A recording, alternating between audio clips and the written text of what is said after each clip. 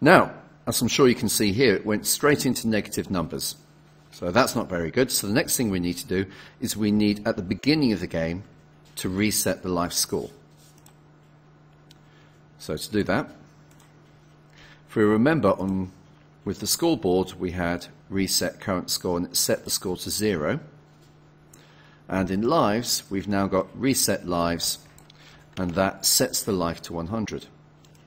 Well, we call this in my world. I'm actually going to put it beside that one, but it doesn't matter where you put it. So again, this one's going to be lives dot reset lives semicolon because it's an action. There we go. Now, every time we run this and we test this, you can see it starts with 100. If we speed it up a bit and it goes down gradually. There we go, away you go.